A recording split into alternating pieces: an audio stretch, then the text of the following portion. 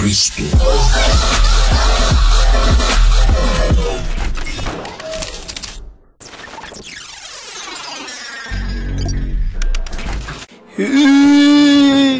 ¿Qué tal amigos? En esta ocasión vamos a hablar acerca del meme, el origen del meme y chequé mi casa y chequé mi cuarto. Ese es el origen del meme. Ayer me tocó en mi casa que entraron y estaba la puerta abierta de atrás. Y entonces yo me levanté y dije, pues ¿quién será? Y salí para atrás y dije yo, no, pues no es nadie, ni por qué está la puerta abierta. Si por algo está la puerta abierta, algo tenía que haber sucedido. Y chequé mi casa, chequé mi cuarto y nada. Hay niños también donde pueden entrar y, y hacer muchas cosas y donde los niños tienen temor de que les vayan a hacer algo. Aquí hay marihuana, yo vengo al parque todos los días y veo a ver cómo está y porque acá van a poner un parque nuevo.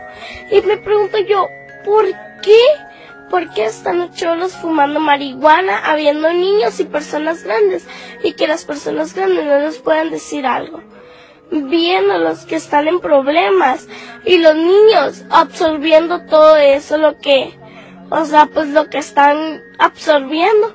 El otro día fui también para allá, para aquel parque, ya estaban jugando fútbol y dije, dije yo, porque estaban llorando los niños. Niños, ¿qué tienen? No, pues que me amenazaron. Pero ¿cómo que los amenazaron?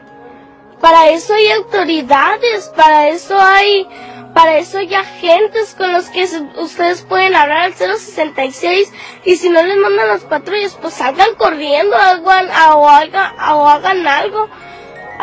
¿Se, sienten, inseguros ustedes aquí pasando? Sí, nos sentimos inseguros muy inseguros a pesar de todo lo que ha pasado. ¿Qué le pedirías a las autoridades? Le pediría a las autoridades que todos los días estén checando las calles y casa por casa, que les estén tocando a ver qué les ha pasado o les ha sucedido algo, porque así nosotros no podemos estar y tenemos que hacer justicia.